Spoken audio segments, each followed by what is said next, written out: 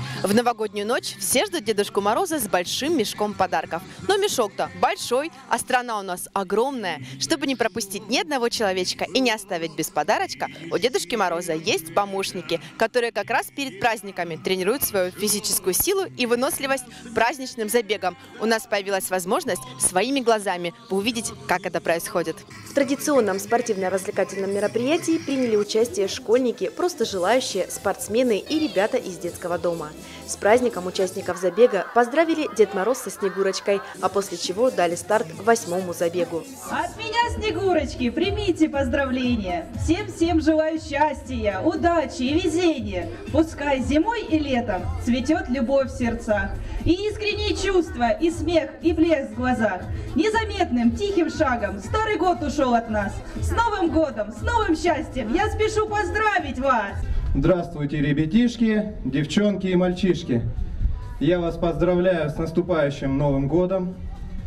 Самое главное, желаю вам мира, чтобы Новый год вам принес только положительные эмоции.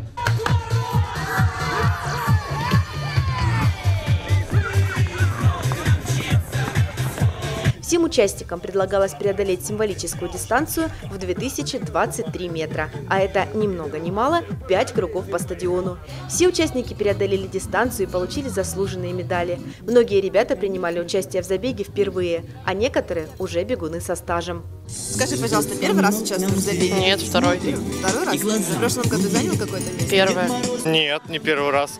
Уже пятый раз я участвую. И каждый Да. Ну, э, каждому, э, как говорится, свой индивидуальный спорт и, э, так сказать, каждому по, по силам что-то именно свое, а что-то не по силам. Очень понравилось бы. Буду еще участвовать. Сколько раз? А, третий. Третий раз. Какой? Каждый раз занимаешь призовые места, да? Нет, не все. Первый раз не занимал. Тяжело бежать?